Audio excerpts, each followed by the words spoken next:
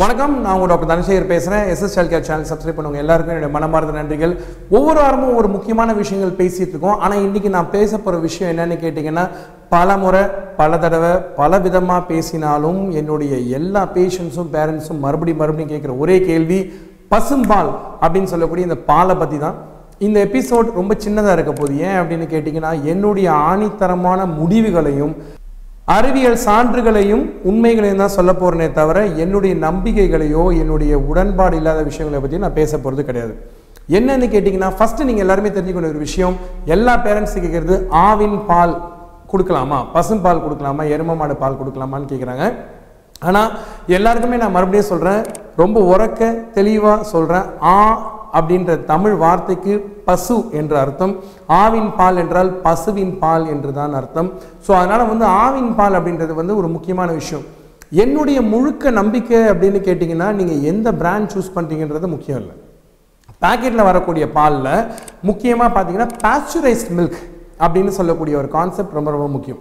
Pasteurisation அப்படின்றது என்னன்னு கேட்டிங்கன்னா நம்ம ஏற்கனவே பேசியிருக்கோம். லூயிஸ் பேஸ்டர்ன்ற ஒரு டாக்டர் கண்டுபிடிச்சிருக்காரு.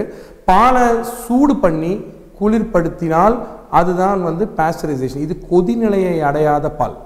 இந்த பேஸ்டரைசேஷன் படுறதுனால பல நோய் கிருமிகளை பாலந்திலிருந்து நீங்கள் அகற்றலாம். ஆனால் உங்கள் வீட்டுக்கு பால் ஊற்றுறாரு பார்த்தீங்களா அவர் பேஸ்டரைஸ் பண்ணுறது கிடையாது. அந்த மாட்டுக்கு நோய் இருக்கா? அந்த மாட்டுக்கு டிபி இருக்கா? அந்த மாடு எப்படி இருக்குது தொழுத்தில் கட்டியிருக்காங்களா? வெளியே மேய்தா? எந்த விதமான உணவு கொடுக்குறாங்க? சத்து மருந்து கொடுக்குறாங்களா? உங்களுக்கு எதுவுமே தெரியாது. கண்மூடித்தனமாக அன்பேஸ்டரைஸ் மில்கை நீங்கள் கொடுக்குறீங்க. இது குழந்தைங்களுக்கு பெரிய டேஞ்சராக முடியும்.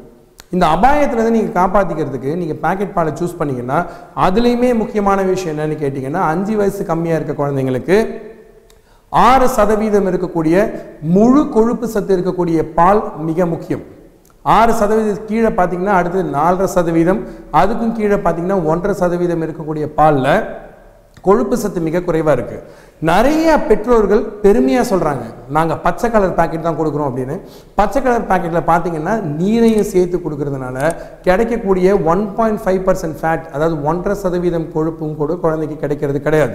இரண்டு வயதிற்கு மேல் பால் கொடுக்கக்கூடிய ஒரு சூழ்நிலை வறுமையானால் அதில் முக்கியமான விஷயம் என்னன்னு கேட்டிங்கன்னா நீங்கள் பால் கொடுத்தீங்கன்னா சிக்ஸ் பர்சன்ட் ஃபேட் அதாவது ஆறு சதவீதம் கொழுப்பு சத்து இருக்கக்கூடிய பேச்சுரைஸ் மில்கை கொடுக்கணும்.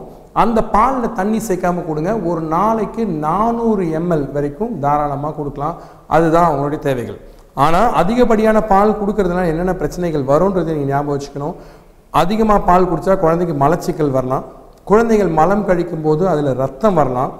குழந்தைகளுக்கு பசும்பால் கொடுப்பது வந்து ஒரு வயது வரைமுறை இருக்குது இந்திய அரசாங்கமும் உலக சுகாதார நிறுவனமும் ரொம்ப கிளியராக சொல்லியிருக்க விஷயம் என்னன்னு கேட்டிங்கன்னா ஆறு மாதம் வரைக்கும் தாய்ப்பால் மட்டும் கொடுங்க. ஆறு மாதத்துக்கு மேலே உணவுகளில் மற்ற உணவுகளை ஆட் பண்ண ஆரம்பிங்க. சேர்த்து கொடுங்கன்னு சொல்கிறாங்க ஆனால் இதில் எல்லாருமே என்ன பண்ணுறாங்கன்னு பார்த்தீங்கன்னா ஆறு மாதத்துக்கு மேலே எல்லாருமே வந்து பால் சேர்க்க ஆரம்பிச்சிடறாங்க. மாட்டுப்பால். ஸோ இந்த மாட்டுப்பால் ஆறு மாதத்துக்கு மேலே மாடுக்கு தான் சேரும்.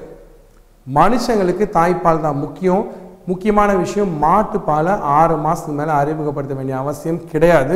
தாய்ப்பாலை தொடர்ந்து இரண்டு வயது வரை கொடுக்கலாம்.